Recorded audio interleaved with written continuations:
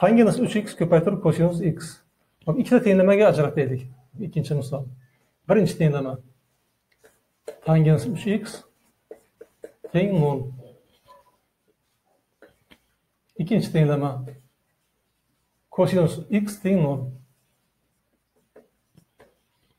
hop mana bu yerdan biz uch x teng pk ekanini hosil qilamiz. Bundan x teng pk taqsim uch ekanini hosil qilamiz. K tegishli z. Hop mana bu tenglamadan x teng pi taqsim ikki qo'shuv pi ekanini hosil qilamiz. Hop bu yechim bo'ladimi yoki yo'qmi? Qaysilari yechim bo'ladi? Tangensni aniqlash sohasini hisobga olamiz. Sinus taqsim kosinus edi tangens demak kosinus 3x 0 ga teng bo'lmasligi kerak. Chunki tangens 3x sinus tangens 3x sinus 3x taqsim kosinus uch xga teng. Demak mahrajdagi kosinus 3x nolga teng bo'lmasligi kerak. Ho'p demak mana bularda e, nolga teng bo'lmaydi. Endi mana bularni tekshirishimiz kerak. Nima uchun bunda e, nolga teng bo'lib qolishi ham mumkin? Tekshiramiz uni.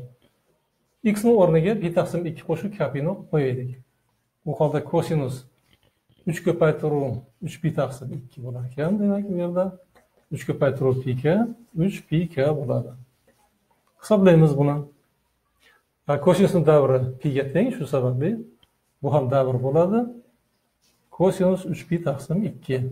Bunda kosinus nolga teng. Demak mana bu e, sonlar ildiz bo'lolmas ekan. Ildiz emas. Shunday qilib berilgan tenglamani ildizlari mana bu sonlar ekan. Demak javobga mana bu sonlarni yozamiz. Navbatdagi misol uchinchi misol.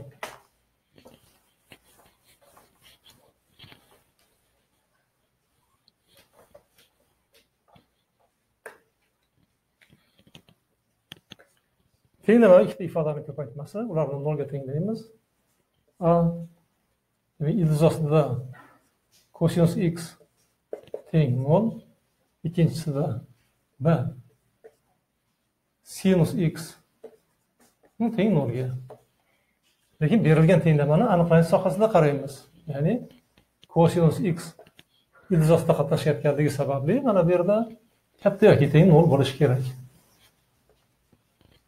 Demak topilgan ildizlarni mana albatta mana bu tengsizlikni tekshirishimiz kerak. Qanoatlantirsa olamiz qanoatlantirmasa tashlab yuboramiz. Va bu yerdan biz kosinus x teng nol ekanini hosil qilamiz. Va bu tengsizlik bajarilyapti buning uchun nol tenglik belgisi bor. Demak buni ildizlari berilgan tenglamani ildizlari bo'ladi. X teng pi taqsim ikki qo'shuv k pi k tegishli z.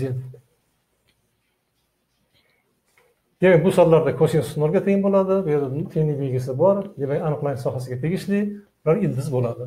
Endi bu tenglamani yechamiz x teng pk. k va bularni qaysilarida kosinus musbat bo'ladi qaysilarida manfiy bo'ladi? Buni aniqlaymiz. Ikkita xonni ko'ramiz. K juft son bo'lsin juda ko'p masalalarda juda foydali bo'lyapti. Juft son to'qson bo'lgan hollarni ko'ryapmiz. Agar k ikki eng ko'rinishda bo'lsa ya'ni juft bo'lsa bu holda mana bu formulada x teng ikki np ekanini hosil qilamiz. Agar x ikki npga teng bo'lsa kosinus ikki np birga teng. E mana bu ildiz bo'ladi. N tegishli z. Demak bu ildiz. K ikki n plyus bir ko'rinishda bo'lsin. Ya'ni to'qson bo'lsin.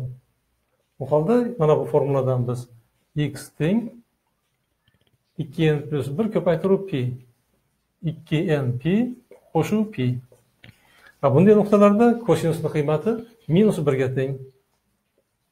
Kosinus pini oldinga yozing. ikki n pi bu kosinusni davri. Kosinus piga teng. Bu minus birga teng.